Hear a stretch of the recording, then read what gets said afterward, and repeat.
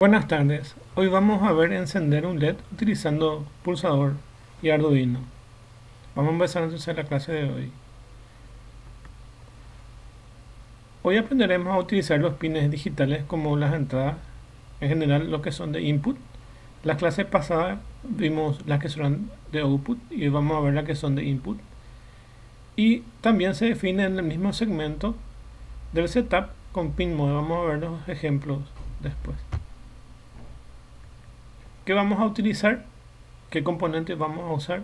Vamos a usar varios cables de conexión, un protoboard o placa de prototipos, un Arduino R3, un diodo emisor de luz, un LED, una resistencia de 10 kilo una resistencia de 220 ohmios y un pulsador. Esos son los componentes que vamos a usar. Les voy a mostrar la imagen de cada uno de ellos. Este es el pulsador y como ven hay pulsadores, acá no se ve en la imagen, pero hay pulsadores de cuatro patas y pulsadores de dos patas. Los pulsadores de cuatro patas y dos patas son la misma cosa, solo que se duplican eh, dos patas más para las de cuatro. ¿Y cómo funcionan? Estas dos patas están interconectadas acá por una chapa y estas dos están interconectadas por otra chapa. Entonces, esta y esta son iguales. Esta y esta son iguales. Entonces, hace como si fuera solo dos, pero tiene cuatro. Esto es así para que se pueda colocar en las placas. Mejor entonces vienen de cuatro patas, para que se puedan adherir mejor a las placas. Pero también ustedes pueden comprar o conseguir o ver las que vienen en dos patas. ¿Qué es la función de un pulsador? Es lo mismo que un interruptor. Ustedes con una llave en su casa pueden prender y apagar la luz. Y este, este el pulsador hace lo mismo. Pueden encender o apagar, en este caso, componentes electrónicas. Algunas, algunas radios o algunos componentes electrónicos tienen estos pulsadores y fácilmente lo van a reconocer. Y sirve para prender y apagar. Tiene dobles funciones dependiendo de cómo se va a programar. Uno puede programar para que sea un pulsador o para que sea un interruptor. En el caso que estamos más acostumbrados nosotros, es el caso de eh, interruptores, que es de prendido y luego de apagado. En el caso del interruptor, ustedes pulsan una vez, se prende y vuelven a pulsar otra vez y se apaga. Esa es la función de interruptor. Y en el cambio, cuando hablamos de pulsador, como función de pulsador, mientras mantienen presionado se prende y luego lo sueltan y se apaga. Entonces, tiene doble funcionalidad. Además de eso, podemos hacer por código o podemos hacer por vía electrónica, podemos hacer que, que inicie prendido o que inicie apagado. Eso vamos a ver. Y tiene el nombre de pull up y pull down. Vamos a ver eso. Entonces vamos a pasar a la imagen de otro componente. Se usa una resistencia de 220 ohmios y tienen el color ahí rojo, rojo, marrón, em, marrón dorado y esos colores significan este 220 ohmios que está acá. O sea que las resistencias se conocen por colores cada tipo de resistencia con sus propios valores tiene sus propios colores. En este caso es una resistencia de 220 ohmios y se usa para proteger el LED, porque el LED, si ustedes no le colocan, em, si no le colocan al LED una resistencia se puede quemar, excepto los LEDs blancos, que los LED blancos sí soportan mayor corriente, entonces no se queman, pero los que son de colores si se queman. Entonces, la mayoría de los proyectos usan los de colores y son más baratos, entonces necesitan la resistencia. Ahí tiene abajo que dice 0,25 W, que es 0,25 watt, y es cuánto de potencia aguantan estos, estas resistencias. Las resistencias que se usan para electrónica son de watt muy pequeño, por eso es que es 0,25 y las que se usan para aplicaciones industriales y de electricidad y las de potencia son más tiene mayor watt y por lo tanto esto es otro valor. En este caso por lo que, por lo que es de electrónica 0,25 watt lo que utiliza. Pero en nuestro caso no hace falta saber eso. Solamente le estoy contando que una resistencia se puede conocer a través de sus colores, en este caso rojo, rojo, marrón. Y su unidad de medida es el ohmio, este signo de omega que, está, que ven acá. Entonces, en este caso es 220 ohmios y es para proteger el LED, para que no se queme el LED. La otra resistencia que vamos a usar es de, de 10 kilo ohmios y es para el circuito del pulsador. Eso es para que se pueda polarizar el pulsador y pueda funcionar el pulsador. Si no tiene la resistencia, ocurre un pequeño corto en la placa, pero el Arduino tiene protección para cortocircuito, no, no hay problema. Pero generalmente cuando se va a colocar un pulsador, siempre se coloca una resistencia. Puede ser de 10 kilo ohmios, que es lo que nosotros vamos a usar pero en el caso del simulador vi que usa solo un kilo ohmio, pero por lo general es mayor o igual a un K, en este caso es 10 kilo ohmios, lo que vamos a usar.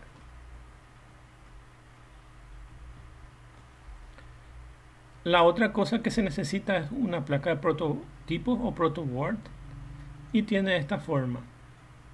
Como ven aquí, esto no lo expliqué todavía, lo voy a explicar ahora tiene dos colores acá. Generalmente es azul y rojo. Y donde es rojo se coloca la alimentación. En este caso generalmente 5 voltios. Todo lo que vamos a alimentar de, esta forma, en forma de línea. Entonces como ven acá, así como yo estoy colocando el ratón acá, estoy pasando. Lo van a tener en forma de línea.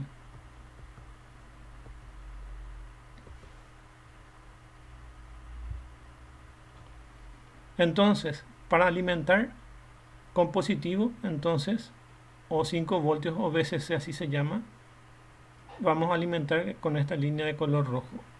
Y los que son GND o tierra o ground, en color negro generalmente es el cable y lo vamos a alimentar por esta otra que está acá abajo de color azul. En esta placa se repiten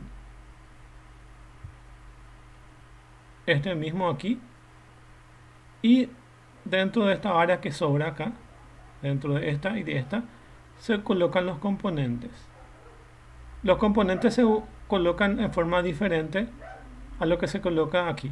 Acá lo ven en forma de fila en forma de esta forma. Y para colocar los componentes lo van a colocar en forma de columnas. Entonces un componente una patita de los componentes se coloca acá y el otro aquí. El pulsador lo van a ubicar en esta zona que separa esta sección de esta sección. Generalmente se colocan acá. Este, en esta sección donde está este espacio se suele colocar los pulsadores o también se suelen colocar los circuitos integrados. Por suerte en el Tinkercad, que es la placa el programa de prototipos, es fácil de ubicar y te muestra todo cómo colocar, no hay problema, siempre te muestra así de color verde claro cómo ir colocando, no hay otra forma, de, o sea que no hay forma de equivocarse cómo se colocan los componentes. Y, va, y en la mayoría de las prácticas yo les voy a colocar los componentes que van a necesitar, no van a necesitar que ustedes coloquen los componentes, salvo que de repente hagamos algún ejercicio, pero voy a tratar de colocarle siempre los componentes. El otro elemento que vamos a usar son estos cables para protoboard. Y de un extremo se coloca en el protoboard y al otro extremo se coloca en el Arduino. Este es unos cables macho macho porque tienen los pines aquí y tienen aquí. Después están los cables eh, macho hembra y tienen los cables hembra-hembra. Son los tres tipos de cables que hay.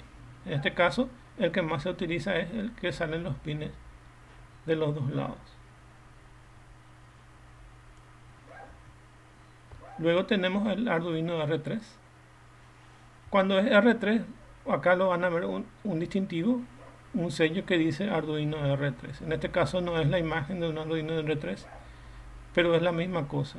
Es la, la versión R3, figura acá, que es R3.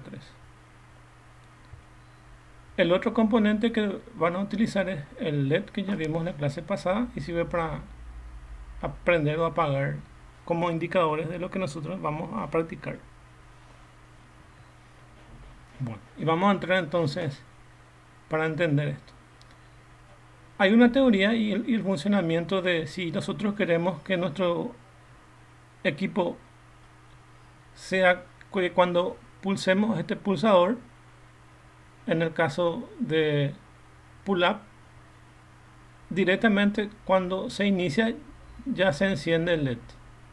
Y en el caso de pull down, nosotros tenemos que pulsar este pulsador y ahí recién se enciende. Entonces existen dos formas. Las dos formas son inversas. Tanto pull up y pull down son inversas. Pull down yo tengo que pulsar como dice su nombre, down, que es presionar, pulsar. Y cuando yo presiono se enciende el LED. Y en pull up directamente, en pull up yo tengo que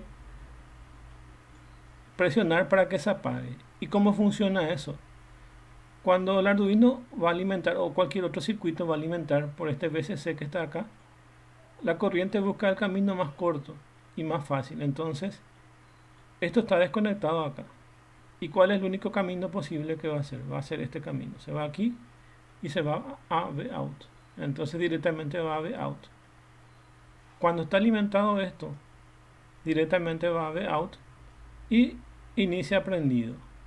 Cuando yo pulso este pulsador, entonces estos contactos se cierran y hace que la corriente busque su camino más fácil y en vez de ir a V out va acá hacia tierra o GND, entonces va para abajo.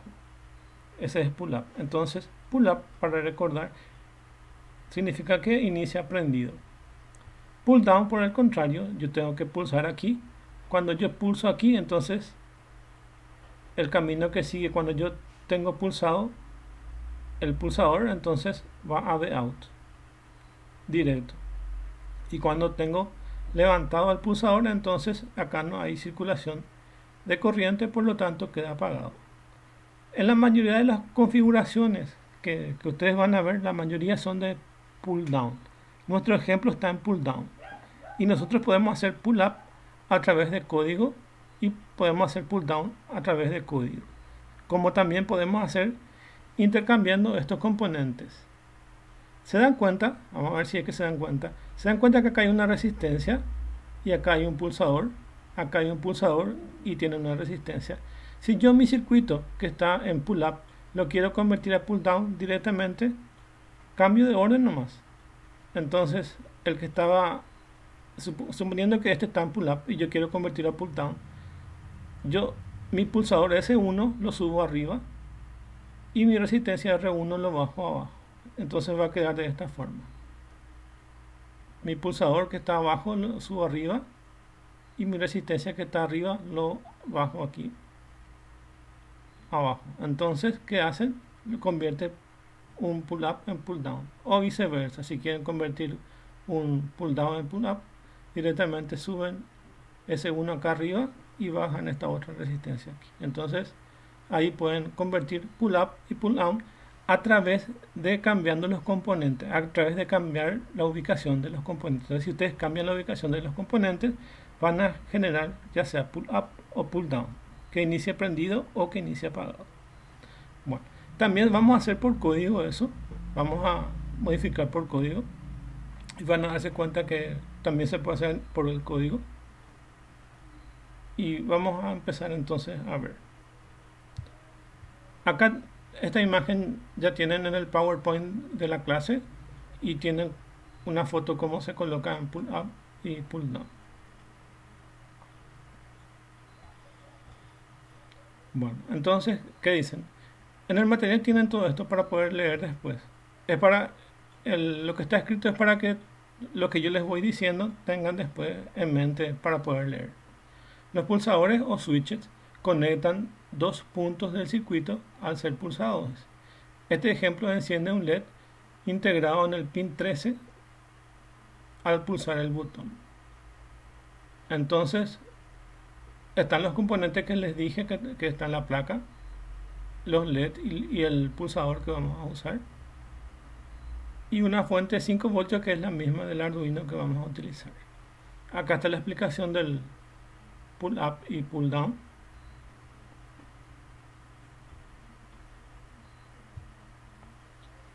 Bueno, como tarea del foro, les, les, les pregunto si los valores que sirven para high y low, high es para prender el LED y low es para apagarlo. O sea que para prender un pin yo escribo la palabra high y para apagar un pin de salida lo doy con low. Entonces en digital para, en, para entradas y salidas digitales entonces tengo este high y low. La pregunta es si estos valores yo tengo que definirlos, tengo que definir este como una variable o como una constante y la respuesta es que no, ya viene predefinida en el Arduino. Entonces, dentro del compilador ya están definidas estas variables. Eso es la respuesta de esto. Y eso es lo que pregunta ahí. Entonces dice high, internamente el Arduino lo reconoce como 1 y low internamente el Arduino lo reconoce como 0. Estas dos son constantes que se utilizan en el código de Arduino y están definidas internamente. No hace falta que, se, que el programador las defina. Como puede usar indistintamente los valores numéricos o sus literales definidos como high y low. Ustedes en su código pueden usar la, la constante high o la constante low o pueden usar el valor de 1 o 0. Eso queda a criterio de cada uno. Eso es para el foro, la pregunta del foro. Bueno, y esto es lo que nosotros vamos a armar ahora. Vamos a armar esto. Generalmente, para las prácticas con pulsadores, se pueden colocar en el pin 2.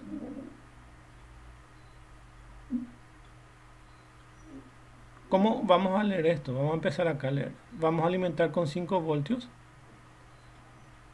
Viene aquí luego va al, pulsador, del pulsador va a una resistencia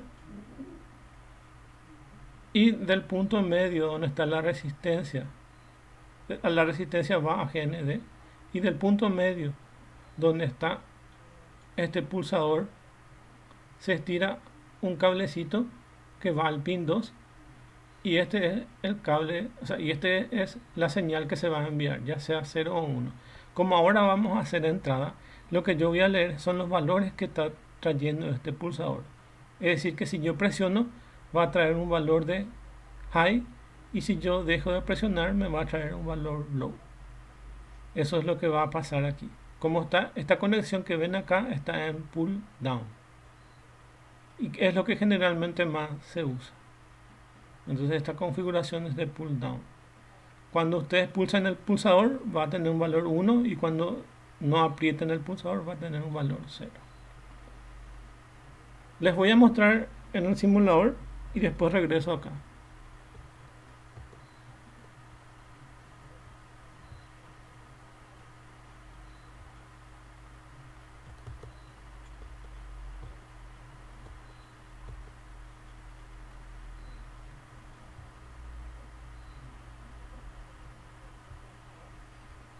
Voy a hacer funcionar aquí inicio del simulador. Por defecto está apagado. Y presiono el pulsador y ahí lo prendo ven se queda prendido. Largo el pulsador y se apaga. Hago un clic acá en el pulsador se prende. Lo largo y se apaga. Esto es lo que vamos a hacer de práctica ahora. Entonces vamos a ir subiendo de nivel. Entonces, de repente esto es intermedio entre básico y no tanto. Y vamos a ir subiendo de nivel para ir viendo más cosas conforme van las clases. Eso es lo que vamos a hacer.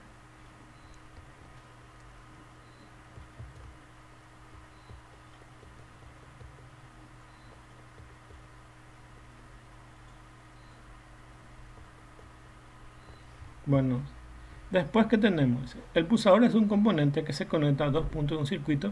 Cuando es presionado, se utiliza una resistencia de pull down junto a un pulsador para conectar a un pin de entrada digital. De esta forma, poder saber cuando el pulsador es presionado. Si, es pulsado, si el pulsador está presionado, el valor del pin número 10 en, el ejemplo que, tenemos en, en, el PowerPoint, o puede ser el número 2, el pin 2 o lo que desee o cualquier pin que usted desee colocar. En general lo vamos a usar en el pin número 2 para los ejemplos que vamos a utilizar. Será 0 voltios cuando low, en caso contrario será 5 voltios high. Eso es medido a nivel de voltios. ¿Cuántos voltios alimenta? Entonces, para 0 voltios el valor es low y significa un valor lógico 0. En lo contrario sería 5 voltios o un valor lógico 1 o sus siglas son high. En la placa protoboard debe haber una resistencia de 10 kΩ conectada entre el pin de entrada y tierra, como se ve en el esquema. Ahí tienen el esquema. Entonces, yo tengo acá mi alimentación de 5 voltios empiezo aquí me voy acá 5 voltios. A 5 voltios le coloco el pulsador y me voy acá. Acá tengo que conectar a una resistencia. Luego del pulsador coloco una resistencia y esa resistencia tiene que ir conectada a GND esa es la forma de, de conectar. Entonces empiezo conectando desde 5 voltios hasta el pulsador al otro extremo del pulsador se tiene que ir a un extremo de la resistencia. El otro extremo de la resistencia tiene que ir conectado a... El otro extremo de la resistencia tiene que ir conectado. Estoy controlando por si es que hay alguien que no pueda entrar. El otro extremo del pulsador está conectado a GND. Y ahí termina el circuito. Entonces, esa es la forma de poder conectarse. Para poder empezar, tienen que fijarse donde dice 5 voltios y de empezar de 5 voltios 5 voltios conectar a un lado al pulsador el otro lado del pulsador colocar la resistencia el otro lado del el otro extremo de la resistencia conectarlo a GND y por último el punto medio que está entre el pulsador y la resistencia es nuestro pin de entrada que va conectado en este caso al pin número 10 pero como les dije generalmente se suele colocar de ejemplo para la, para la mayoría de las prácticas en, con pulsadores en el pin número 2. Pero ustedes pueden elegir cualquiera de estos pines, ya sea desde el 0 hasta el 13. Generalmente, por convención, se deja el número 13 para prender el LED. Siempre para prender el LED aquí se deja eso. Y el pin número 2 para el pulsador en este caso el ejemplo que conseguí de internet entonces lo, colocaron en el pin número 10 pero ustedes pueden colocarlo en cualquiera de los pines que quieran. Por convención lo suelen colocar en el pin número 2 bueno y esa es la forma como se conecta. Acá tienen una imagen de eso cómo se conecta con, a través de una pila. Es lo mismo que alimentar desde la computadora con el USB o a través de la pila si lo van a lo van a alimentar a la computadora, lo van a conectar aquí. Y si lo van a colocar a través de una batería, lo van a conectar por acá. Y esta es la forma como lo conecta. Bueno, vamos a ver el código entonces. Nosotros tenemos el mismo pin que usamos para LED, que se llama LED pin, y va, y va a ser el número 13. Y en el número 10, como estaba en la figura, como está en esta figura, va a ser nuestra entrada. Entonces, en este pin 13 va a ser de salida. Para que puedan darse cuenta, imagínense, no puedo dibujar acá, pero si dibujar acá iba a dibujar una flecha hacia arriba. Entonces, si yo dibujo una flecha hacia arriba, va a ser pin de salida. Y si dibujo una flecha entrando hacia el pin número 10, va a ser de entrada. Entonces yo los pines los puedo configurar de entrada o salida. Cuando son digitales, los pines yo los puedo configurar de entrada o bien de salida. Yo elijo cuál de estos pines quiero que sean de entrada o salida. Por convención, yo dejo siempre el pin número 13 que sea de salida. Entonces, imagínense una flechita que sale hacia, hacia afuera. ¿Y qué voy a hacer con esa flecha que va hacia afuera? Voy a alimentar un LED. Es como si fuera que, es como si fuera que eso sea una batería que va a prender un foco. Entonces, el pin va a ser de salida. Y de entrada yo voy a alimentar esto. Yo le voy a meter, por eso es que empieza en el en el 5, por eso es que empieza con 5 voltios, porque yo voy a alimentar con 5 voltios. Cuando yo bajo este pulsador, cuando aprieto este pulsador, va a ir la corriente acá y va a entrar acá. Por eso es pin de entrada. Va a entrar 5 voltios acá. Entonces yo defino mi pin número 10 como entrada porque le va a entrar. Tiene una flecha que le entra hacia, hacia el pin número 10. Entonces yo defino como entrada y pin número 13 va a alimentar un LED o va a aprender y apagar el LED. Entonces así funciona eso. Entonces defino tres variables. LED pin, que va a tener el número 13, que va a ser ese pin de, de entrada. No digo ese pin de salida, quiero decir, el pin número 13.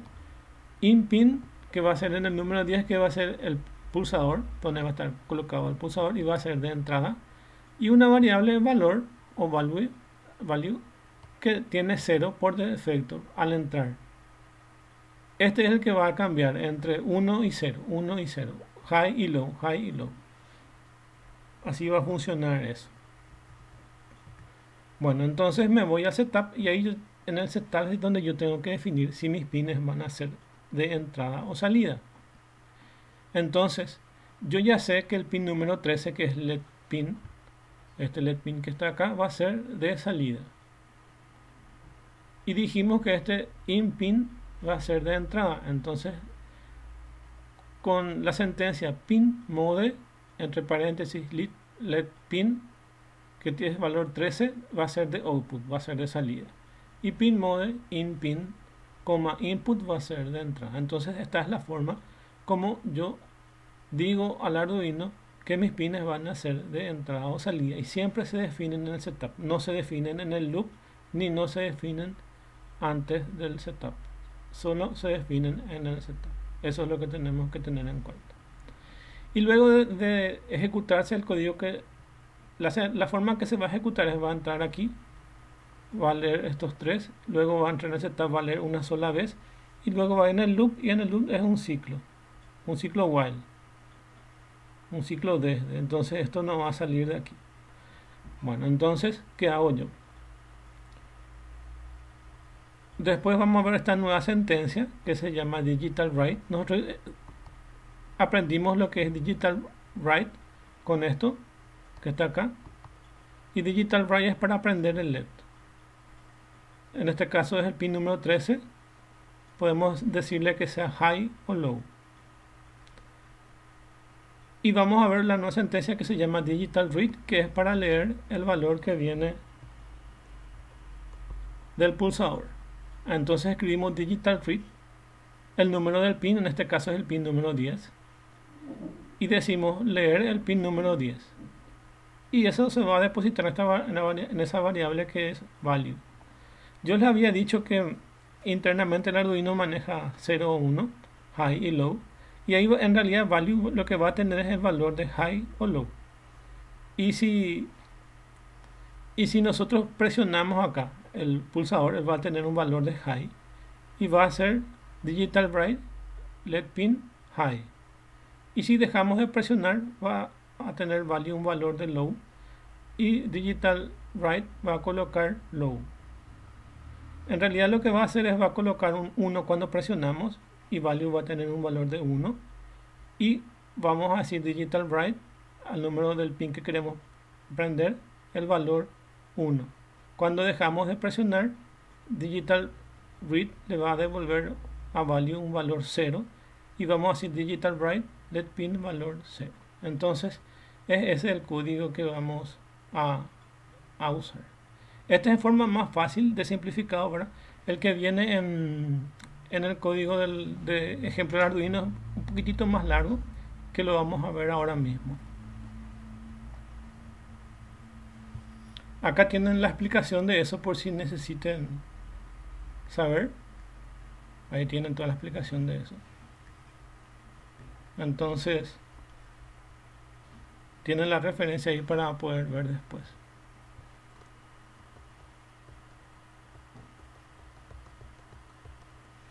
Bueno, vamos al código entonces del que tenemos aquí. El enlace del código ustedes tienen en la plataforma. Pueden entrar ahí y luego ver y va a estar esto mismo.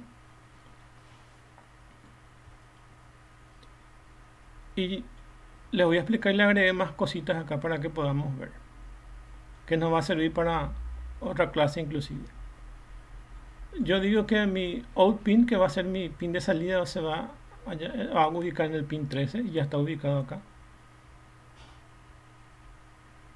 Y mi in pin está en el número 2, como les dije, eso es lo que más eh, es común en este pin número 2.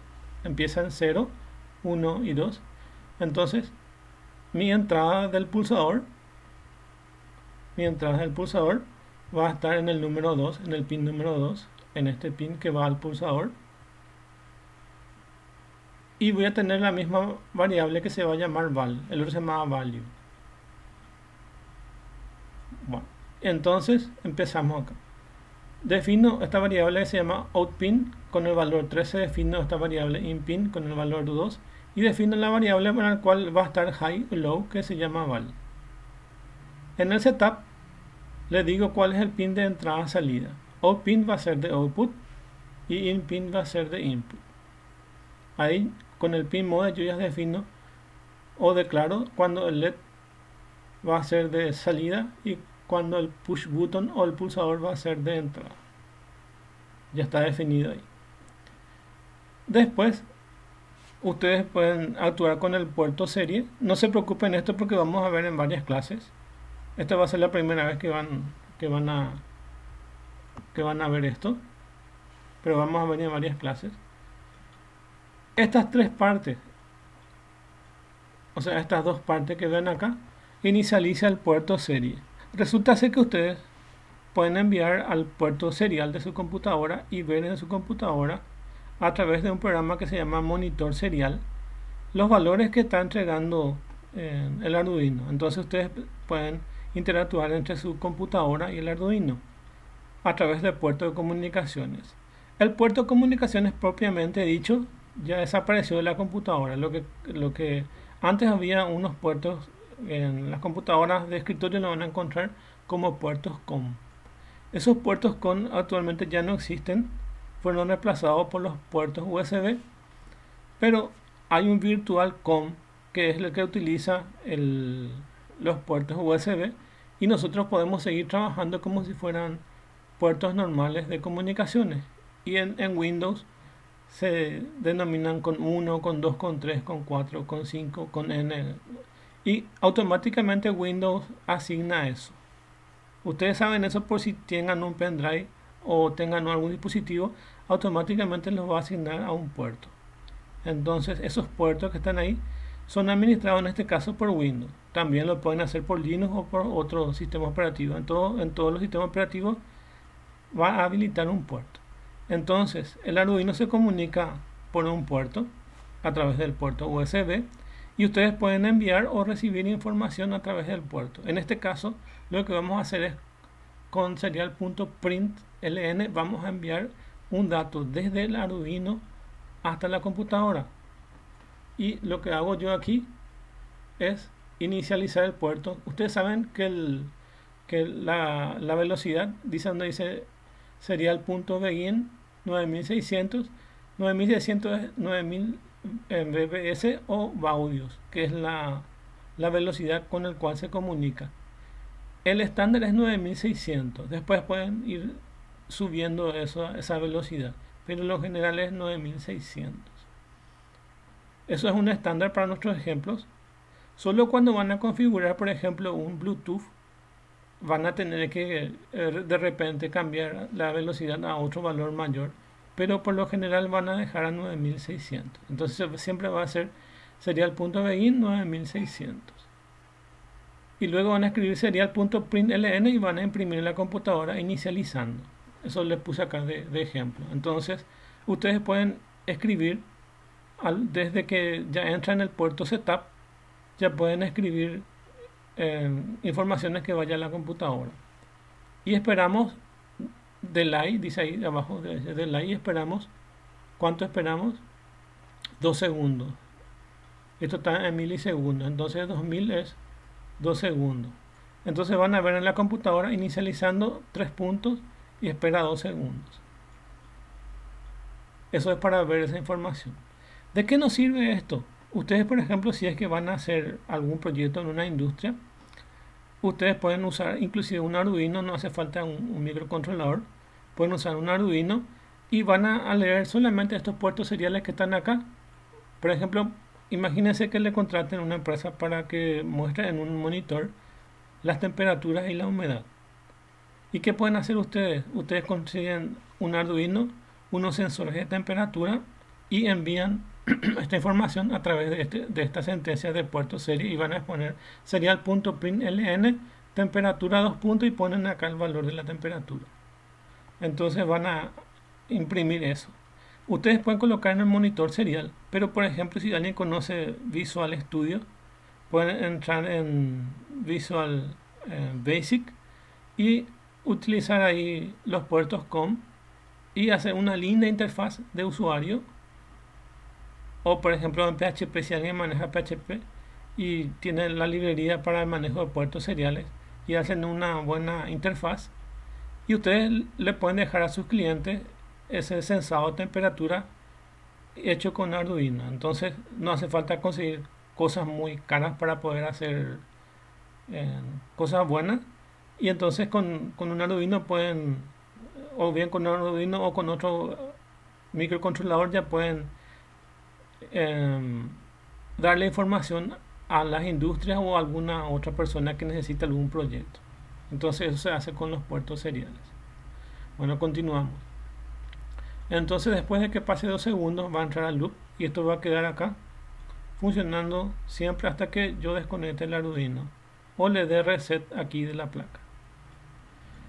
Bueno, entonces ¿qué va a hacer? Lo primero que va a hacer es va a hacer la sentencia digital read y va a leer el número que está en esta variable, que es el número 2 del INPIN. Entonces leo el puerto serie, digo, leo el leo el valor de INPIN y INPIN está en, este puerto, en este pin 2 cuando yo pulso aquí, entonces la energía que está acá, en este, en este pin número 5 de 5 de 5 voltios, va la energía, va aquí, va acá.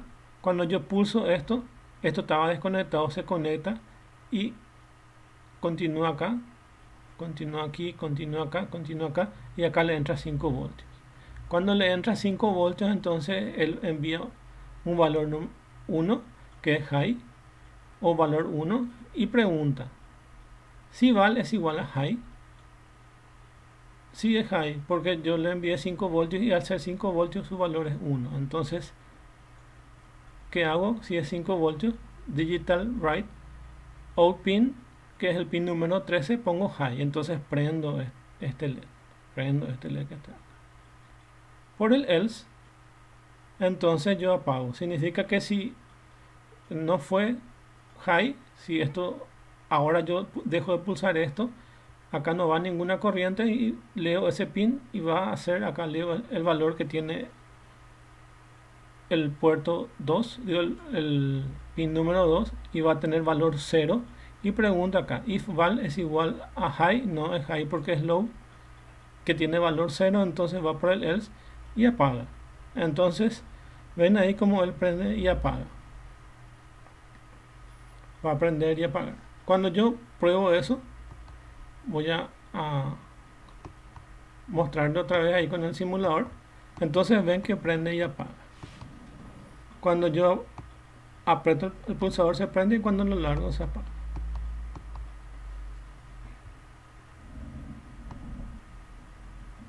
Bueno. Y debajo de eso cuando prende y apaga pongo serial.println el valor que viene en val. Entonces van a ver que viene o 0 o 1 o 0 o 1 y println es imprimir nueva línea. Es decir que le da un enter. Imprime un 1 enter. Imprime un 0 enter. Imprime un, 1 enter. Y le da un retardo de un milisegundo. y acá voy a levantar este acá arriba. El simulador también tiene un monitor de puerto serie igual que lo tiene en la computadora y lo vamos a ver, vamos a ver esos valores que vienen. Se dan cuenta que ahora está viniendo valor 0. Esto, ah, esto está simulando ahora mismo. Cuando yo empiezo a pulsar el pulsador, van a darse cuenta que acá tiene valor 1. ¿Se dan cuenta? Eso es lo que tiene el Arduino. Cuando su valor es high, internamente él devuelve un valor 1. Entonces leo este pin, está alimentando acá, va hasta acá, va aquí, este está presionado, sigue la corriente aquí, conecta con el pin 2, entonces el valor es high. Al ser el valor high, leo este digital read, va a tener un val, va a tener un valor 1 y eso es lo que estoy imprimiendo aquí. Val sería el punto print ln val y eso me imprime acá 1. Cuando largo el pulsador, ahora ya largué el pulsador, se va a apagar enseguida.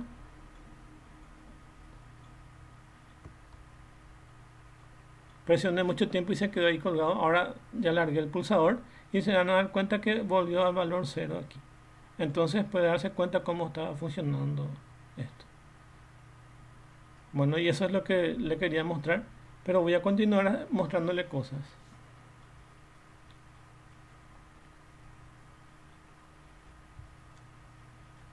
Me voy otra vez a mi... Voy a tener un ratito la simulación. Voy a dejar el código ahí. Ahora ustedes están viendo cómo funciona el pulsador y lo que vamos a ver ahora cómo funciona como interruptor. Pero antes les voy a dar estas explicaciones. Ustedes saben que el pulsador que tenemos aquí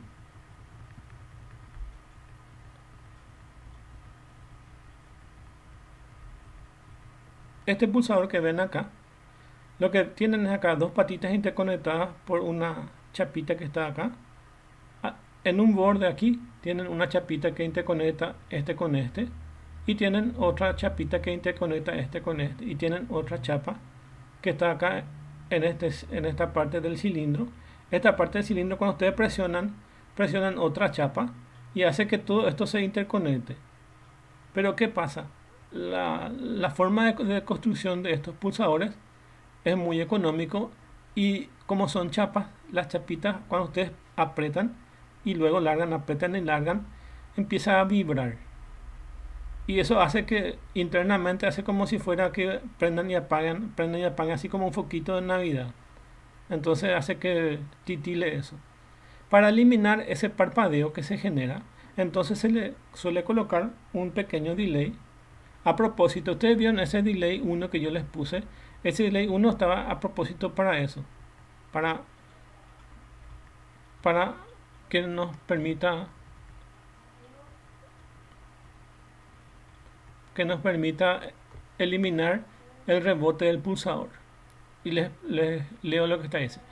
En este ejemplo se muestra la forma de eliminación de rebote de una entrada, lo que significa que la comprobación de dos veces en un corto periodo de tiempo para asegurarse de definitivamente se presiona sin la supresión de rebotes. Al pulsar el botón una vez, puede parecer que el código como múltiples prensas hace uso de la función milip, ese es otro ejemplo, ¿verdad? Pero para, hace, hace una función ahí del Arduino que vamos a ver después, que se llama milips, para realizar el seguimiento de dos veces que se puso el botón.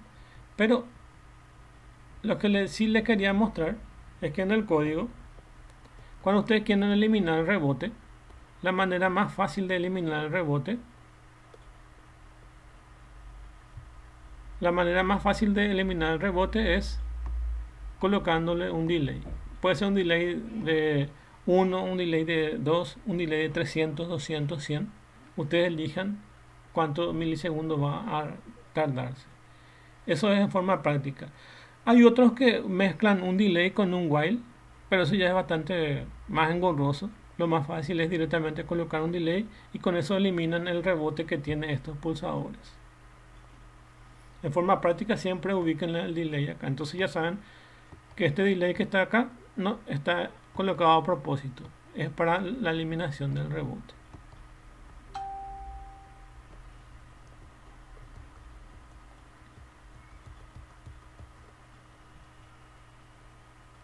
Acá está la aplicación de lo que es el serial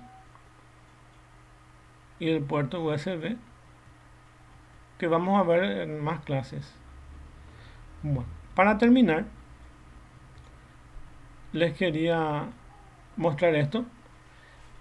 Yo hice un código hace un cierto periodo de tiempo y en internet van a encontrar diferentes códigos. Este código fue realizado por mí y fue realizado con operaciones de bits del Arduino, que son las mismas operaciones de bits que tiene el lenguaje C. No sé si es que tienen algo de digitales y van a conocer las puertas AND, OR, NOR y SOR, que son las mismas configuraciones que, que tienen en AND, OR, NOR y SOR que, que dieron alguna materia. AND es I, OR es O, no es negación y sobre es sobre o, exclusivo o sobre o exclusivo bueno acá tienen en cuando ustedes pulsan 1 y 1 va a ser el resultado 1 para las AND y cuando pulsan 0 o 1 va a ser todo 0 entonces tiene que estar presionado 1 y 1 para que queden 1 en las OR tiene que estar presionado cualquiera de ellas para colocar un valor 1. Solo cuando es 0, 0, el valor es 0. El del not es una negación, es decir, si es 0 te convierte en 1 y si es 1 te convierte en 0. Y solo es una eh, aplicación especial que tiene esta forma. Cuando es 1, 1 te da 0 y cuando es 0 o 1 se comporta como una OR. Entonces se comporta como si fuera una negación de la AND. Acá cuando es 1, 1 es 1. Acá cuando es 1, 1 es 0. Como una negación de la AND. Y como para los, el resto se comporta con una OR. Y este es SOR. El ejemplo que tienen aquí se llama código de toggle button optimizado. Y es una forma bastante corta que encontré para hacer un interruptor. Si ustedes quieren buscar otro código, utiliza if con ese em, valor de high y low y otra variable para hacer lo mismo este voy a copiar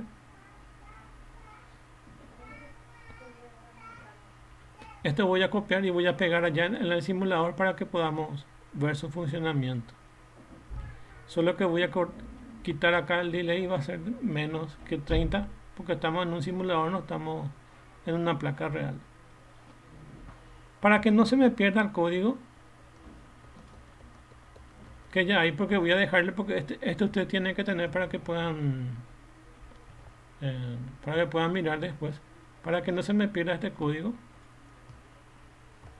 lo voy a pasar al al blog de notas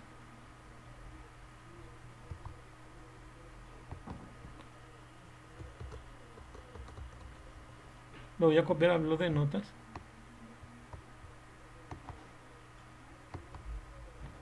Ahí lo dejo.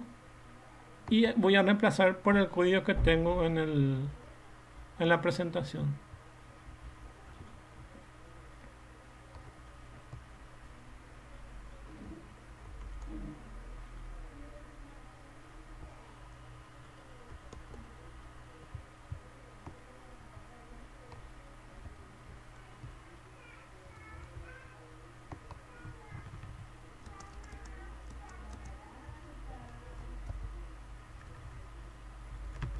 Voy a cambiar el delay aquí.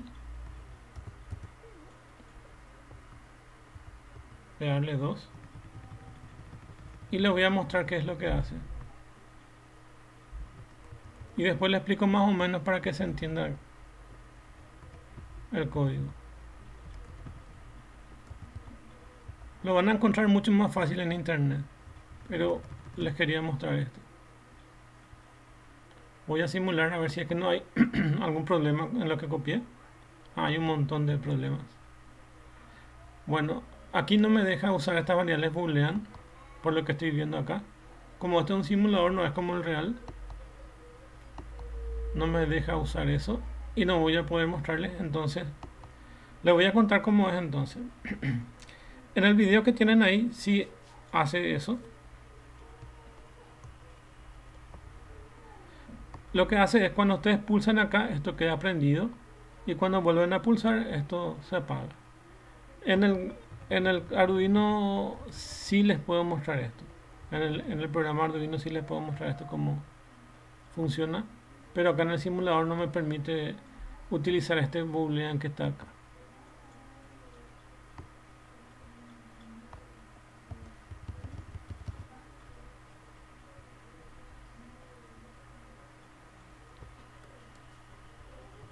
Voy a devolver nomás el código que tenía anteriormente.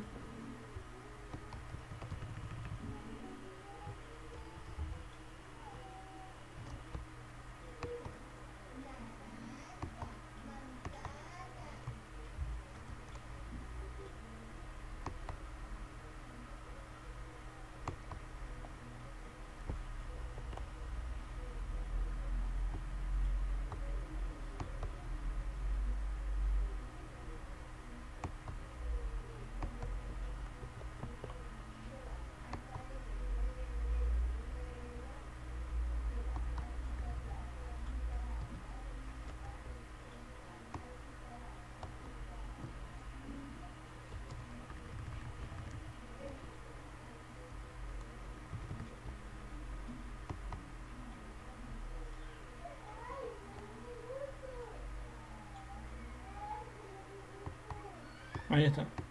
Ahí le dejo después para que ustedes puedan ver este. Bueno, ahora para terminar, para que puedan entender, en el video que les dejé ahí, tiene la explicación y tienen ahí cómo se hace en forma práctica esto y vamos a ver ahora eso.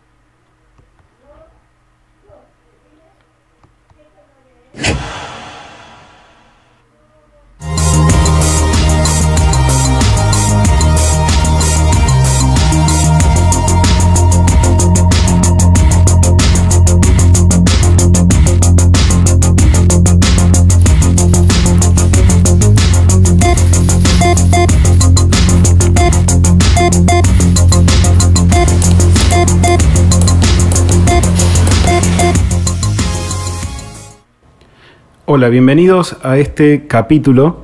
Hace poco estuvimos viendo entradas analógicas, anteriormente salidas digitales y nos falta algo muy importante, entradas digitales, cuando tenemos que medir o censar si tenemos un 1 o un 0, alto o bajo, 5 voltios o nada.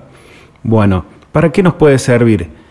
Algo súper práctico y súper fácil de probar es con un pulsador, porque en realidad una función de las entradas digitales es para medir cuando un pulsador ha sido presionado.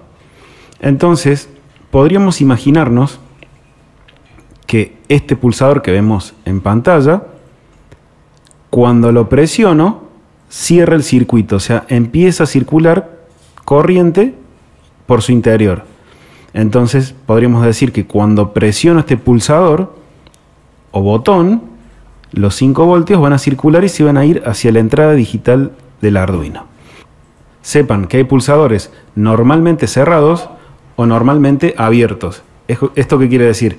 Que cuando lo presiono cierro el circuito y la corriente pasa, en el caso de los normalmente abiertos, o sea, en su estado de reposo no pasa corriente. Y después están los opuestos, normalmente cerrados, o sea, cuando no lo estoy pulsando no pasa corriente.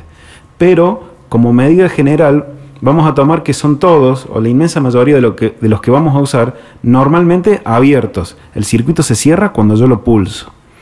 Entonces, retomando este esquema, podemos decir que una manera fácil y aparentemente correcta de usarlos sería esta.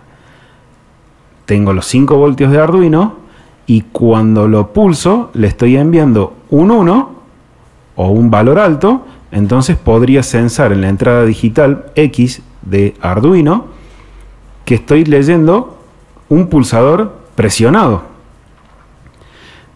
Pero la idea es que nosotros le mandemos un 1 o un 0, da lo mismo, pero tiene que ser o 1 o 0, o 5 voltios o ground, en función de si lo aprieto o no lo aprieto a ese botón. Entonces, miren lo que pasa acá. Cuando lo presiono, le voy a enviar a la entrada digital 5 voltios. Eso es correcto. Hasta ahí, espectacular, ningún problema. Pero cuando yo suelte y deje de presionar el botón, ¿le voy a estar enviando ground a, este, a esta entrada? Yo necesito enviarle ground para decirle que no está presionado.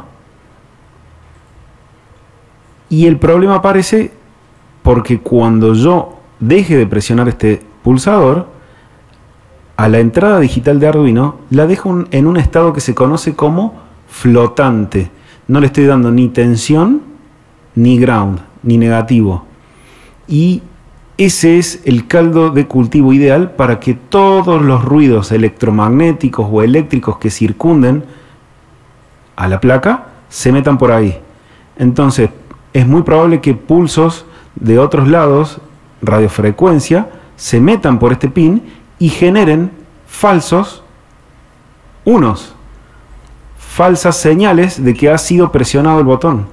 Así que esto es una manera incorrecta de usar un pulsador. Totalmente incorrecta.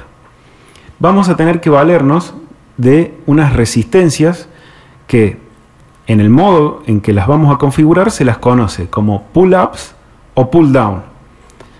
Algo como tirar hacia arriba o tirar para abajo. Vamos a agregar esa resistencia para darle un poco de sentido a esto. Bueno, no se asusten, ha cambiado el circuito. Ahora lo he configurado de la siguiente manera. 5 voltios, esos 5 voltios los hago circular a través de una resistencia de 1K o superior. Por lo general se usan resistencias de entre 1 y 15 kiloohmios. Ya explico por qué. Luego, antes de llegar al pulsador, me voy hacia la entrada digital del Arduino, cualquiera. Y desde el mismo lugar, ahí sí me voy al pulsador y desde el otro extremo del botón a ground. Entonces, ¿qué va a suceder? Cuando el pulsador no está presionado, por acá no fluye corriente, entonces el flujo de corriente ¿cuál va a ser? Pasa a través de la resistencia, viene por acá y va a generar un 1 cuando no esté presionado en la entrada digital del Arduino. Entonces yo ya puedo preparar mi lógica y decir, bueno, si recibo un 1, quiere decir que el botón no está apretado, no está presionado. Genial. Sigamos. Cuando yo lo presione, la electricidad que fluye por la resistencia se va a ir directamente a ground y va a generar una inmensa caída de tensión en este punto, porque toda la electricidad va a fluir hacia tierra haciendo que el valor de la tensión en este punto caiga a cero. Por ende, voy a estar enviando un cero a la entrada digital del Arduino. Y en mi lógica, puedo prepararme para pensar, cuando lea un cero, es porque alguien presionó el pulsador. Ahora bien, ¿por qué pongo una resistencia? Si yo no pusiera esta resistencia y acá estuviera derecho, tuviera un puente de alambre, supongamos, en vez de una resistencia, cuando yo presione el pulsador voy a generar un cortocircuito. Estoy enviando directamente, directamente los 5 voltios a tierra. Por acá va a fluir una inmensa cantidad de corriente y de inmediato se va a calentar y probablemente derretir el pulsador si es que no antes quemo la placa de Arduino, la fuente de, de nuestro Arduino. Entonces, ¿qué función cumple esta resistencia? Cumple la de limitar la corriente máxima que va a circular cuando presiona el pulsador. Mientras más chica sea la resistencia, bueno, cada vez que lo pulse, más corriente va a circular. No queremos que circule demasiada porque tampoco queremos generar un consumo excesivo el presionar un botón, no tiene sentido. Simplemente es una señal la que quiero generar para darle información al Arduino. Entonces, con un K, la corriente que circula es tan pequeña que no esfuerzo para nada la fuente de 5 voltios. Y voy a generar una señal limpia y clara de cuando tengo el pulsador presionado o no.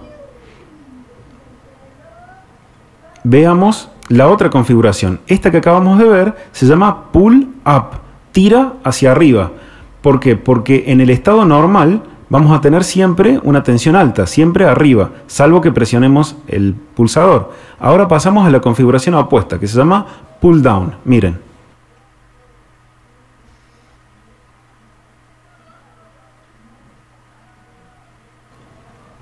Bueno, cambió bastante, ¿no? Pero es más o menos lo mismo. Acá estamos en una configuración pull down. Vean, esta resistencia mantiene conectado todo el tiempo la entrada digital del Arduino a ground, a tierra.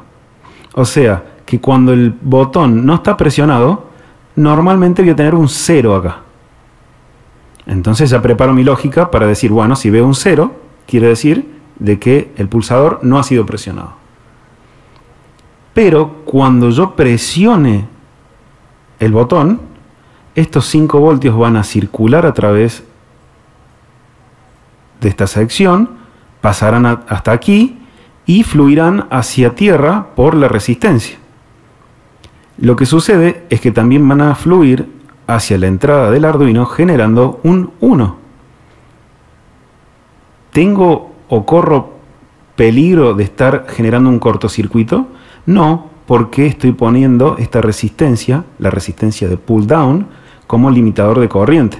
Si yo lo pusiera acá directo a tierra, por supuesto, en cuanto pulse esto, o se quema el pulsador, o lo más probable es que dañe la placa Arduino, porque va a pasar una inmensa cantidad de corriente a tierra. Un cortocircuito. Entonces, esta es otra manera de configurarlo. Por lo general, usamos pull-up, pero a veces conviene una o la otra. Un tip nomás. Cuando estamos trabajando con sistemas con mucho ruido, donde hay motores que generan mucho ruido y meten fluctuaciones importantes o picos abruptos en la alimentación, a veces es mejor usar esta configuración, que es una configuración que se conoce como más silenciosa, es más inmune a que se metan ruidos a la entrada digital y generen falsos unos. Bueno, ahora ya vimos el esquema, lo tenemos bien claro pasemos a generar un pull up, un pull up en nuestra proto board. Como pueden ver, lo que hicimos es tal cual lo, que está en el esquema. ¿Vieron que es más fácil interpretar primero un esquema y después, y después pasar tranquilos a la proto board?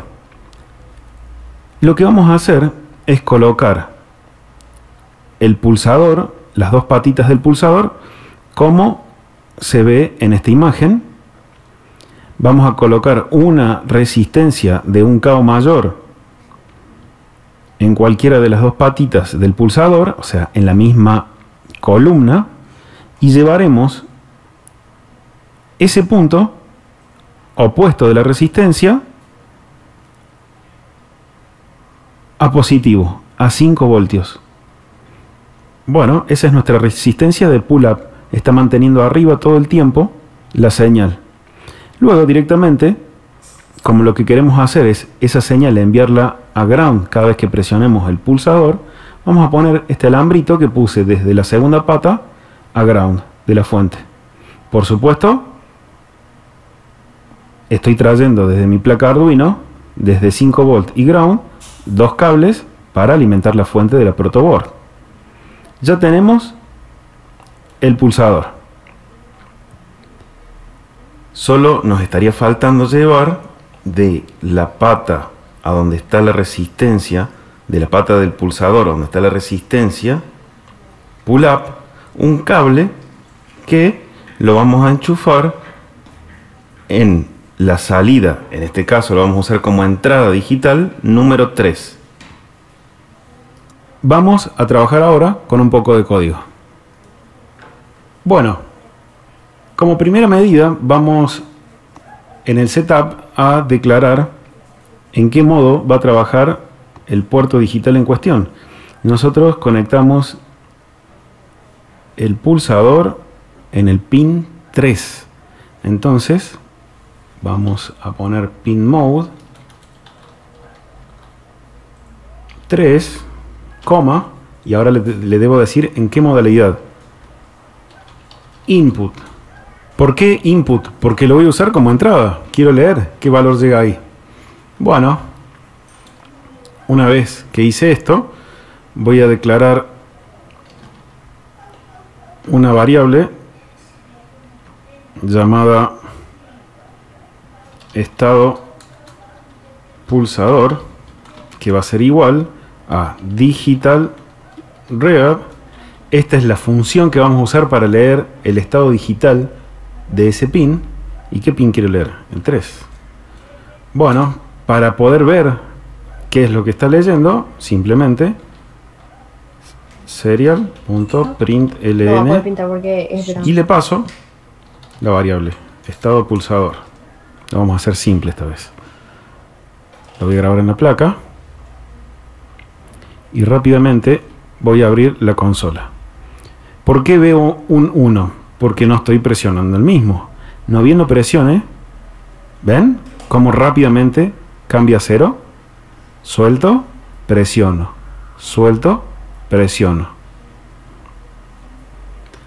Bueno, sepan de que a veces puede que sea más apropiado acá usar una variable de tipo booleana, que solo posee dos valores, true o false. Grabo. Bueno. Y de la misma manera veo 1 o 0. Sucede que la representación por la terminal de true o false es de esta manera, 1 o 0. No va a aparecer la palabra true o false. Sepan eso. Bueno, podría mejorar un poco esto que tengo acá de la siguiente manera. Vamos a crear una variable de tipo string llamada estado directamente. Y luego voy a decir esto. Si estado pulsador igual a true, ¿qué voy a decir? Voy a decir que estado, el string, va a ser igual a no presionado. Dijimos, si hay un 1 o un true, es no presionado. Cuando lo presiono, como estoy enviando a tierra o a ground la señal, vamos a contemplar lo opuesto. Else y ahí voy a decir estado igual a presionado. ¿Se acuerdan del else, no? Es si estador pulsado igual a true, o sea, si tengo un 1, quiere decir que no está presionado. Si pasa lo opuesto, este else que pongo acá sería lo mismo que volver a poner un if estado pulsador igual a false.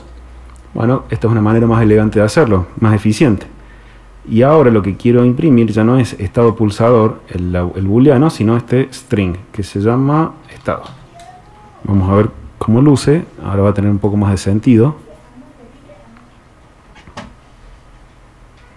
Bueno, no presionado porque no lo estoy apretando y no bien lo presione, ¿ven? Presionado, no presionado, presionado, no presionado.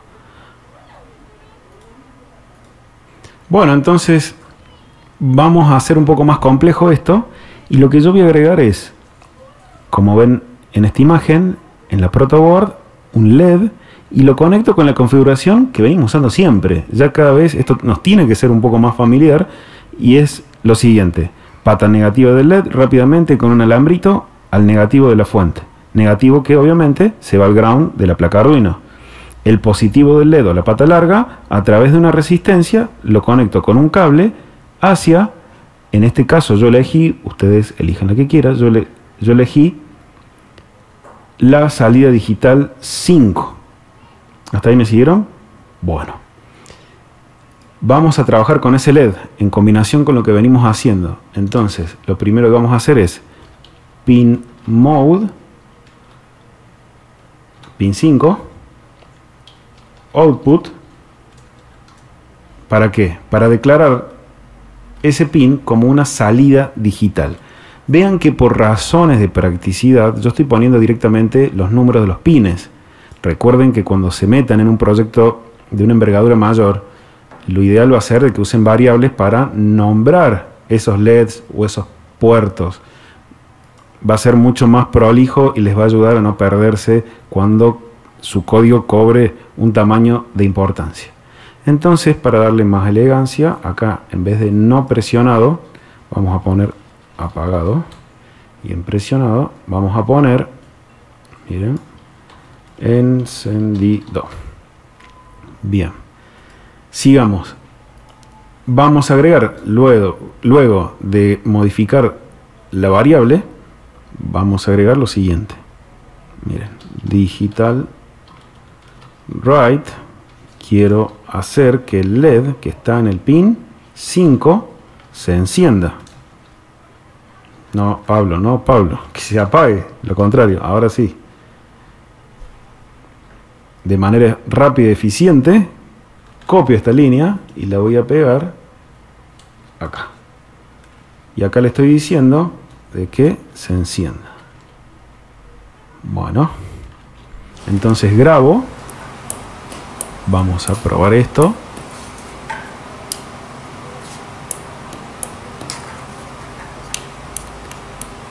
Y como ven, dice apagado encendido y al mismo tiempo que lo presiono, el LED se enciende y se apaga.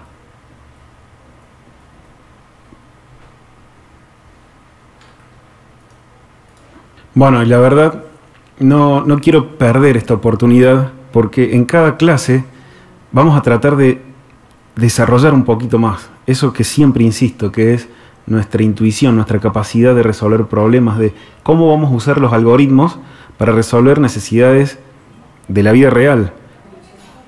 Porque más que programadores, somos solucionadores de problemas. Así que bueno, despertar el ingenio. Quiero hacerla un poco más complicada a esta tarea y yo lo que quiero ahora no es que se mantenga encendido mientras presiono y se apague cuando suelte, sino que en cuanto toque el pulsador una vez, haga un tic si está apagado se encienda y si está encendido se apague. ¿Cómo vamos a hacer eso? Bueno, de la siguiente manera. En, primer lugar ya me está molestando algo que quiero que arreglemos juntos y es, eh, vamos a aclarar este tema de int led, voy a declarar una variable led porque ando con números y ya me empiezo a confundir. ¿Vieron que hace falta?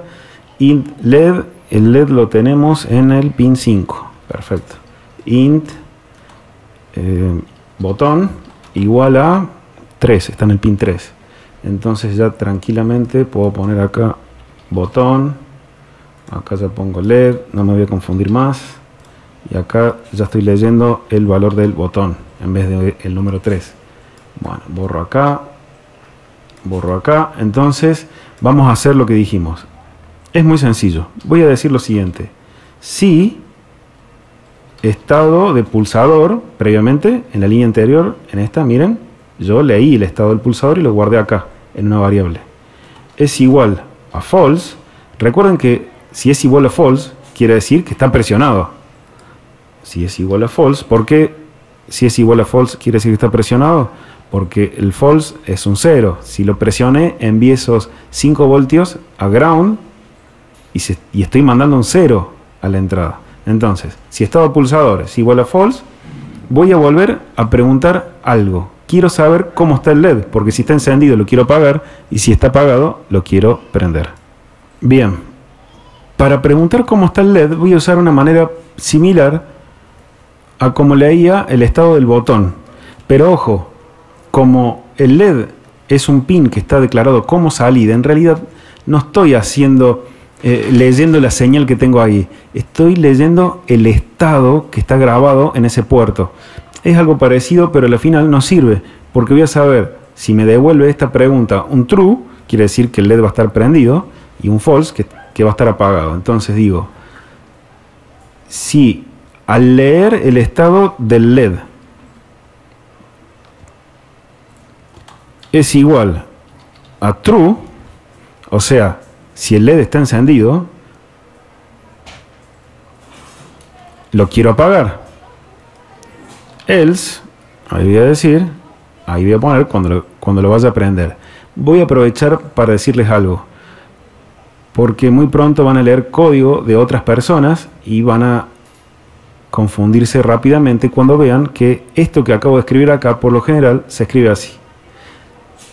Cuando yo quiero preguntar cuando algo sea false, lo puedo preguntar así, o la versión corta sería esta, con la negación adelante.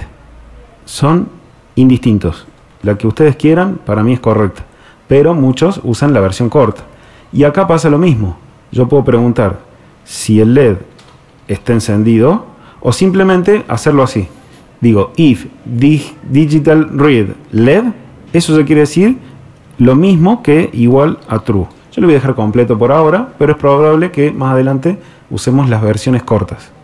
Ahora bien, dijimos, si está encendido, lo quiero apagar. Entonces vamos, digital write LED, coma, low, porque lo quiero, si estaba encendido lo quiero apagar, y si estaba apagado, lo quiero prender. Vamos a encender. Acá pongo high. Perfecto. Vamos a ver cómo anda esto. Lo grabo. Miren, yo presiono y sí, a veces se prende, a veces se apaga, queda como medio prend... No sé, uno de cada cinco funciona como quiero y lo demás no pasa nada. ¿eh? ¿Qué puede estar pasando? Vamos al código y se nos muestra. ¿Qué sucede acá? Estamos chequeando si pulsamos el botón. Cuando lo pulsamos, preguntamos si el LED está prendido para apagarlo. El problema está en que, supongamos que está prendido, listo, ahí nomás lo apago, pero como yo sí o sí mantengo unos milisegundos más apretado el botón, porque a comparación del microcontrolador mi respuesta presionando el botón es lenta, lo que va a pasar es, sí, lo apago, pero ahí nomás vuelve a preguntar y me lo va a encender.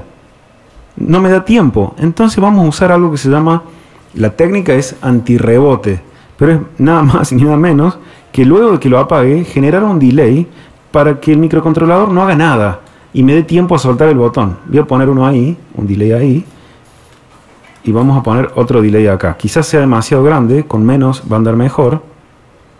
Estos delay tan grandes pueden hacer que no tenga una buena respuesta, pero miren. Como ven, ahora sí, presiono, presiono, presiono, presiono, anda bien. Pero como el delay es demasiado grande ya, si yo presiono muchas veces seguidas, es como que demora en reaccionar. Vamos a achicarlo un poco. Y ya con esto creo que estamos. Vamos a poner 100 milisegundos. Quizás sea demasiado poco. Vamos a ver. Probamos. Bueno, ustedes van a encontrar también el valor ideal. Estas son cosas de que se ensayan, ¿eh? No hay ninguna receta. No, es demasiado corto. De hecho, si lo dejo apretado, miren, parpadeo. ¿Ven? Bueno, vamos a ponerle 500. Ya con 500 creo que estamos bien. Grabo. Por supuesto, si lo dejo presionado, va a parpadear. La verdad que para mí ya está justo ahí. No podemos pedirle más. Bueno, en el próximo capítulo vamos a ver una capacidad muy interesante que tiene el Atmega 328 en su interior, que nos viene justo para lo que estamos haciendo y se van a sorprender, se van a sorprender. Gracias por acompañarme en este capítulo. Nos vemos en el siguiente. Chao, chao. Ok, ya vimos entonces. Y algo que nos falta ver nosotros, así como está funcionando, volviendo a nuestro tema, explica muy bien el señor. Y realmente cuando, cuando uno ve la práctica se siente más, más cómodo viendo ahí en directo. Este está funcionando como si fuera pull down de esta forma que estamos teniendo aquí. Yo presiono y se prende. Y largo y se apaga. Una de las formas de hacer pull up y pull down les mostré que era a través de intercambiando el pulsador y la resistencia. Nada más que mover esta resistencia nada más que mover esta resistencia en donde está el pulsador y el pulsador donde está la resistencia y ahí uno cambia de pull up a pull down. Otra forma de cambiar a pull up y pull down es a través del código. Ustedes se dan cuenta que cuando acá dice if val es igual a high, entonces yo prendo y por el else yo apago. Cuando yo invierto esto, cuando acá le doy low, voy a detener la simulación para que pueda cambiar el código. Cuando yo le pongo aquí low y le cambio aquí a high,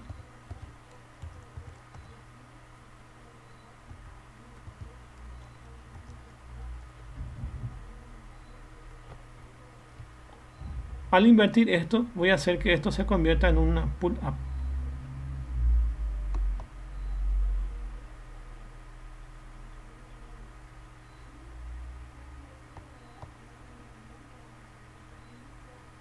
se dan cuenta que está prendido y ahora tengo que presionar para que se apague.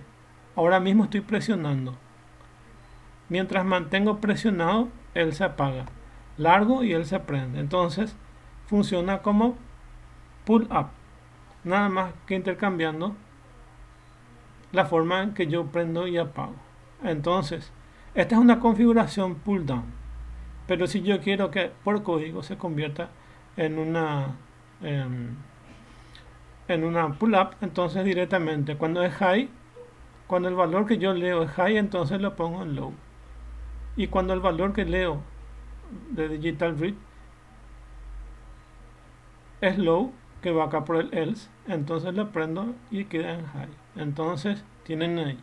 Eso estaba explicando muy bien el video para que siga este delay que es el anti rebote acá, acá es muy pequeño porque estamos en una simulación pero si estamos en un valor real va a ser 300 300, 500 esos son los valores que se usan para el antirrebote. O 200 bueno y hasta acá la clase de hoy eh, y nos encontramos entonces la próxima semana con otro tema. Tienen acá el trabajo práctico vamos a ver si es que me voy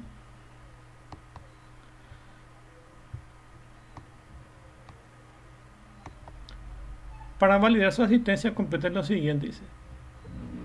Foro de la semana. La constante high representa a una salida de valor 1 y la constante low representa una validez de, valor 0. Comente si estas dos constantes están predefinidas en el Arduino o nosotros tenemos que definir asignándole su valor respectivamente. Por lo que vimos, high y low, low y high, ya están predefinidas, por lo que no hace falta ya redefinirlas en el Arduino, esa es la respuesta. Entonces, según lo, lo, que vemos, la constante high y low no hace falta predefinirlas en el Arduino porque ya vienen definidas internamente por su compilado. Eso sería la respuesta. Y acá tienen que buscar lo que ya vimos en el material. ¿Cuáles son las principales cláusulas de procesamiento que vimos ya? Entonces tienen, tienen el setup y el loop que son los bloques principales y después tienen pin mode que es para definir si el pin va a ser de entrada o salida. Después para aprender un LED es digital write y para leer un LED es digital read. Esos son las principales cláusulas que vimos. Ah y el delay delay. Entonces eso ya tienen todo ahí para para poder, para poder citar. Y lo otro se realiza un programa en Arduino que prenda dos LEDs y básicamente les puse acá el código para prender un LED lo que van a hacer es van a definir pin mode LED 2 como output y van a poner acá digital write LED 1 high y van debajo van a poner digital write LED 2 high. Entonces vas a prender dos LED al mismo tiempo. Van a esperar un delay van a escribir digital write LED 1 como low y debajo digital write LED 2 low y van a esperar eso. Entonces van a aprender y apagar como quieran el LED. Entonces se va a prender dos LED al mismo tiempo y se va a apagar dos LED al mismo tiempo. Como así también van a poder, si ustedes quieren, pueden ir jugando más con esto. Pueden prender primero un LED pueden apagar ese LED y debajo de eso sería como copiar esto mismo para LED 1 y lo copian debajo, lo pegan acá debajo para LED 2. Entonces van a aprender primero LED 1 y luego van a aprender LED 2. Ustedes elijan cuál es el código que, quieren hacer. Si copian así, esto mismo acá le dan control C, van a copiar, luego lo pegan acá en, este, en esta posición, control V y le cambian este código que dice LED 1 por LED 2. Entonces van a aprender primero LED 1, van a apagar LED 1, luego van a prender LED 1 y van a apagar LED, o sea, van a prender primero LED 1, apagar LED 1, prender LED 2 y apagar LED 2. Eso es lo que van a hacer. O el orden que ustedes quieran, o como quieran prender. Lo importante es que dupliquen esto y hagan otro LED que se prenda y que se apague. Bueno, y eso es la clase por hoy entonces. Nos encontramos la próxima clase. Si alguien quiere alguna cuestión eh, comentar o consultar ahora pueden hacerlo también. O si no, nos encontramos la próxima semana. Por mí está todo bien, profe. Bueno, ok. Entonces, así quedamos y nos encontramos la próxima semana. Dale, profe, gracias. Alzo el video en 10 minutos y por ahí ya tienen el video. Bueno, nos vemos. Dale, profe. Bueno, chao. Muchas gracias.